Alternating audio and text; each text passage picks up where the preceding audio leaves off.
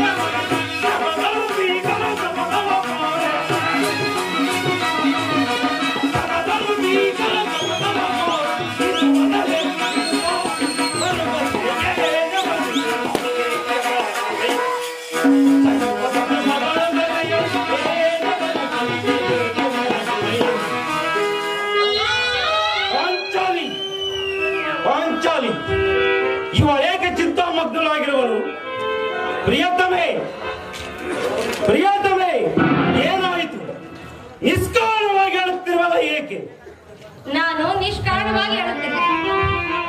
ದ್ರೌಪದಿ ಅಣುವಿಗೆ ಒಂದಲ್ಲ ಹತ್ತು ಕಾರಣಗಳಿರುವು. ನೀವು ಪುರುಷರು, ನಿಮ್ಮನ್ನು ಯಾರಾದರೂ ದುರ್ವಾಕ್ಯಗಳನ್ನಾಡಿದರೆ, ಅಪಮಾನ ಮಾಡಿದರೆ, ನೀವೇ ಅವರಿಗೆ ತಕ್ಕ ಪ್ರತೀಕಾರವನ್ನು ಆದರೂ